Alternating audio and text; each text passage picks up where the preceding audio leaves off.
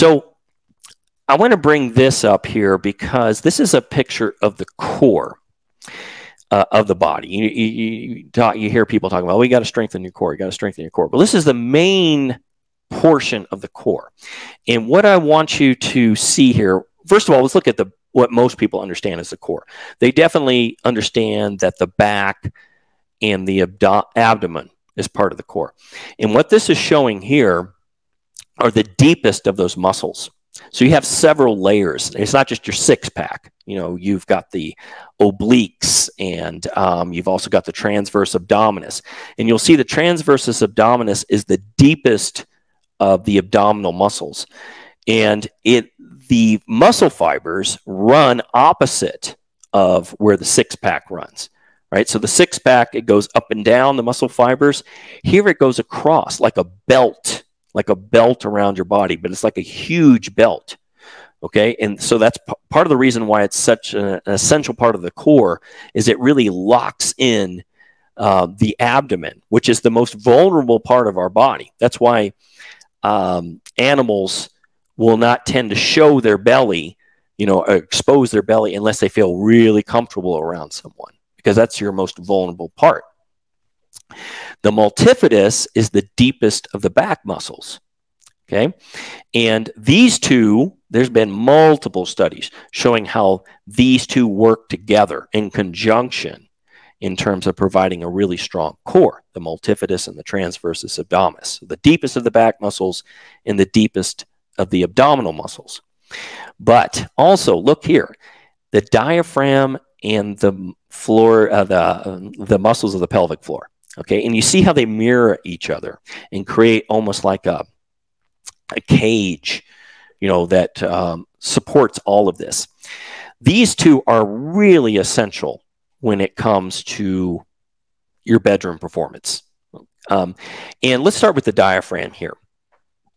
So let's look at this picture.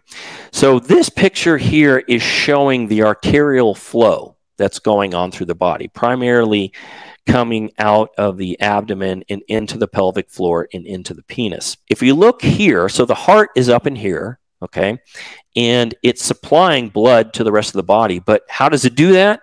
It goes through the diaphragm. Okay, so if the diaphragm is constricted um, by any means and it constricts on that blood flow, it clamps down on that blood flow, it's going to affect the rate of blood flow to the entire lower half of the body, okay, including your penis. So this is a really important part to open up.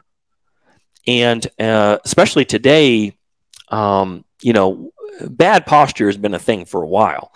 But, you know, in most bad posture, what we're talking about, you know, sitting, slumping over, you know, this type of thing, slumping. Well, when that happens, it constricts this whole, you know, rib cage. This whole rib cage comes forward and um, compresses down on the diaphragm as well as on the abdomen. And you've got all this fascial tissue in there, which we're going to talk about here in a second. But that fat, this connective tissue, when it stays in a shortened position for a while, it sticks to itself. So you become like stiff, you know, it's like, ah, you know, it, it, and that greatly decreases blood flow. Well, today it's even worse. You know, we've had prolonged sitting for a while, which has definitely affected our erections in a bad way. But today it's even worse. Over the past decade, at least, where you know now the cell phones are everywhere. We're just bent over all the time. Well, all the time, but a lot more than we used to be. Right, our heads bent down, our shoulders are bent forward, and we're looking at this little screen and you know typing on our screen. And once again, holding that flexed posture and how much it affects our core and our blood flow that gets in. Okay, really important concept to understand. And so, I was talking to um, my diamond group this morning. We had a great call this morning. We were talking about um, posture and just how important that is. Uh, that's a big reason why. Blood flow, huge reason. Um, let's come this take this down a little bit further. So if you look here, these muscles here, this is what's called the psoas and this is the iliacus. Um, a lot of times people just combine it and they'll call it the iliopsoas. This is the main hip flexors we have in our body. And they're deep. They're deep into the pelvis, they're deep into the spine, and all these blood vessels run around it. Okay, so if you have tightness in this area, especially prolonged sitting, right? So think about this uh, hip being up because that's what's happening when you sit. So that means that, that this muscle here is shortened and held shortened for a long period of time. That can not only get tight, but clamp down on this blood flow that should be getting to your pelvis and your penis, right? Less blood flow. As soon as you sit down, your blood starts to slow. And the longer you sit, the more of a problem this becomes. So let's look at this a little bit deeper. So once again, here's that psoas muscle I'm talking about, and you can see how the blood flow comes all around it. And you can just imagine if this thing's tight, okay, it is restricting blood flow. And this is the main this is the main split right here that goes into your penis.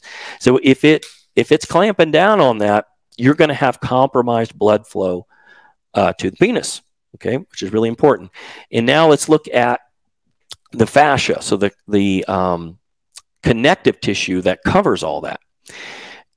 Super important because this is what gets tight first, okay, not the muscles.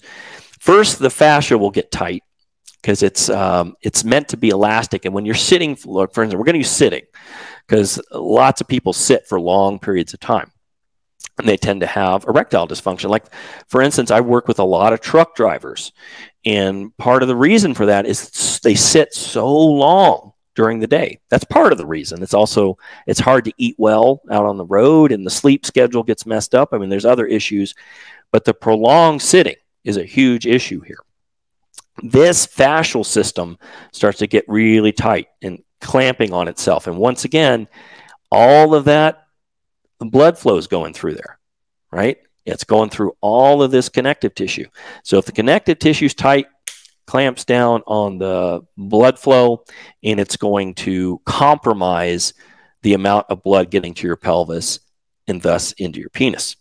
Okay, so you're starting to see how this is all connected and why it's important to understand, you know, this full aspect of the core, including the diaphragm and these pelvic floor muscles, which is what we're primarily talking about today.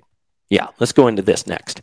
All right, so what this is showing here is how the sacral nerves, okay, the nerves that are coming out of the sacrum, I'll show you some other pictures here in a second, but out of your tailbone, okay, coming in, this is what primarily uh, innervates the penis and the testicles.